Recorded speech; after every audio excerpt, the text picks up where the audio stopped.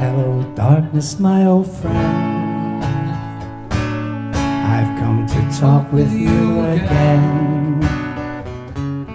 Because a vision softly creeping left its seeds while I was sleeping. And the vision that was planted in my brain still remains within the sound of silence.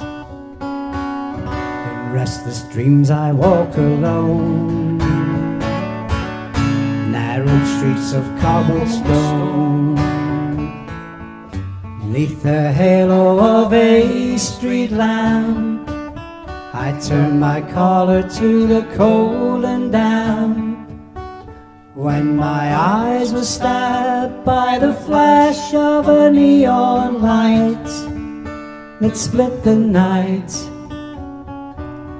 and touched the sound of silence. And in the naked light I saw ten thousand people, maybe more.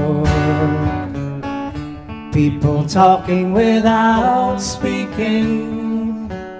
People hearing without listening. People writing songs that voices never shared. Cause no one dared disturb the sound of silence. Though said I, you do not know. Silence like a cancer grows. Hear my words that I might teach you. Take my arms that I might reach you. But my words, like silent raindrops, fell. Mm, in the wells of silence.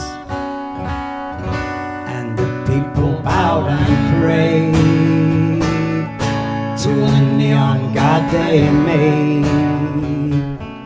And the sign flashed out its warning in the words that it was forming.